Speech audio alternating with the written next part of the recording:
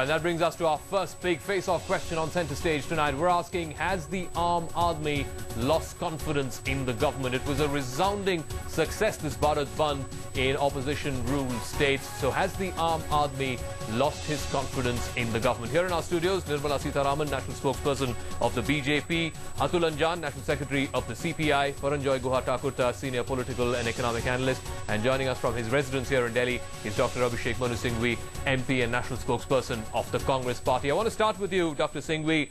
Sugar at 45 rupees a kilo, moong dal at 85, haldi at 200, petrol at 55. Has the UPA failed the Aam Aadmi? Price rise is breaking the back of the Aam Aadmi. We saw a manifestation of that today in the Bharat Bandh. It was supported by the common man. Let's get a few facts clear. The so-called Bharat Bandh, in the name of the Aam Aadmi, has done maximum damage to the Aam Aadmi.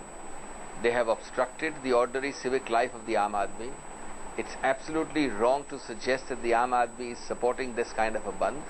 Yes, in a certain areas of government-sponsored uh, bandhs where the BJP or the NDA is ruling the states, there has been a show of strength precisely because they wanted to make sure that the bandh is seen to have the support of the Aam Aadmi.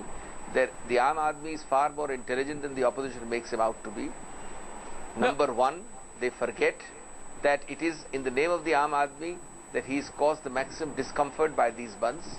Number two, it is for that reason that the Supreme Court way back in 12 or 13 No, years ago declared such bandhs unconstitutional. No, but the fact is, Dr. Singhvi, the, fa- the fact is, Dr. Singhvi, we got callers all through the day here on this channel, and they called us from Mumbai, from Delhi, from Tamil Nadu, from Hyderabad, and most of these are Congress-ruled states.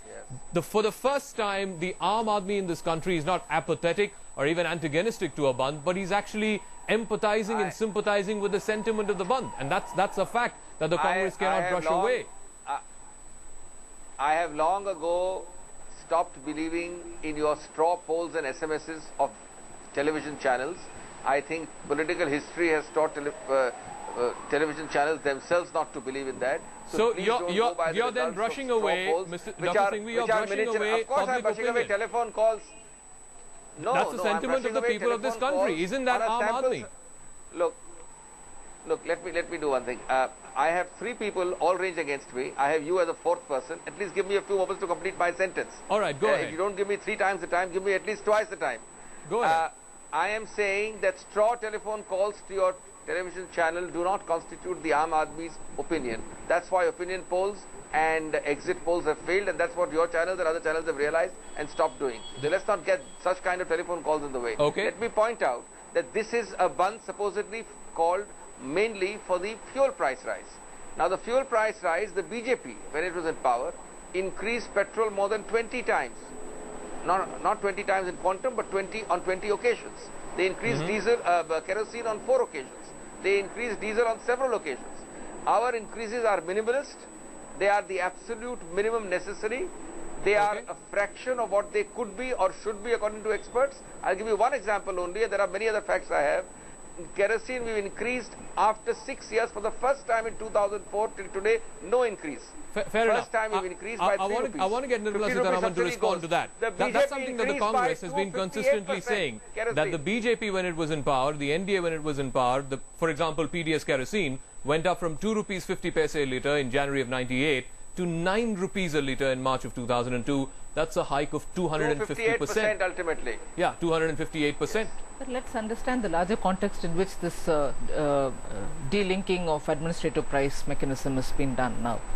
For the last one year, from the panchayat level to the parliament, we are repeatedly, not just us, many parties have been repeatedly saying about the food price infl- inflation. Today, the prices of essential goods, even the dal chawal, which an ordinary citizen can hmm. afford earlier, have become beyond his means. Now, at this time, nobody is suggesting that we want the national oil companies to be at loss permanently. It's a larger issue. We all will have to apply our mind on it. We'll have to see which is the best way to do. So and is the above bandh all, the best way to do that then? no, certainly not. But after having gone up to the level of cut motion in the parliament, in spite of that, when the Congress party is not even responding towards cutting the price down or addressing the issues of poverty, addressing issues of PDS failure, and not even telling us what is the number of uh, below poverty line people No, there, there are